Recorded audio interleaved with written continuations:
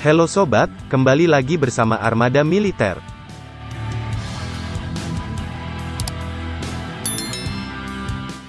Angkatan Udara Iran menyatakan pihaknya telah memutuskan untuk mengakuisisi 24 unit jet tempur Sukhoi Su-35 dari Rusia.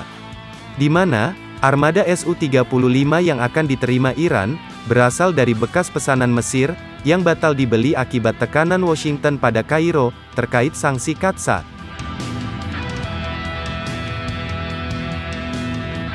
Sobat sekalian, Konfirmasi pembelian Sukhoi Su-35 tersebut, disampaikan KSAU Iran, Brigadir Jenderal Amit Hamid Fahedi, dalam sebuah wawancara, dengan Iranian Borga Agency. Ia, menyatakan bahwa tidak ada rencana pembelian Su-30, dan saat ini antara Iran dan Rusia, tengah membahas pembelian Su-35. Meski begitu, Fahedi, mengatakan keputusan akhir pengadaan Su-35, berada di tangan Komando Staf Umum Angkatan Bersenjata Iran.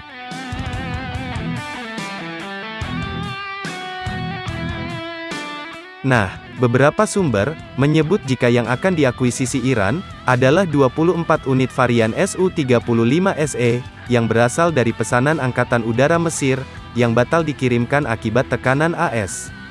Sementara, untuk kebutuhan modernisasi, Angkatan Udara Iran menginginkan setidaknya 24 unit Su-35.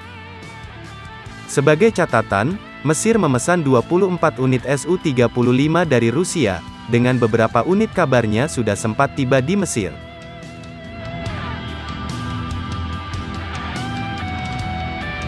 Sobat sekalian, hubungan Rusia dan Iran, belakangan kian mesra, terlebih, Iran memasok ribuan drone tempur, dan drone kamikaze ke Rusia.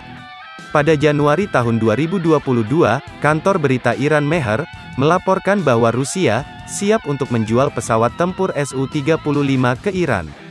Teheran, akan menandatangani perjanjian 20 tahun, tentang kerjasama militer strategis dengan Rusia bulan depan.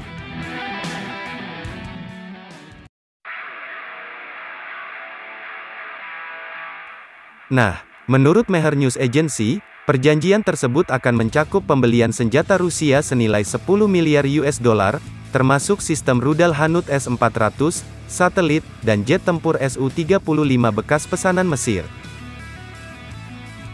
Adapun, kontrak pengadaan Su-35 untuk Mesir, mencapai 2 miliar US dollar, untuk 24 unit Su-35, dengan jadwal pengiriman perdana diharapkan dimulai pada tahun 2020, hingga 2021.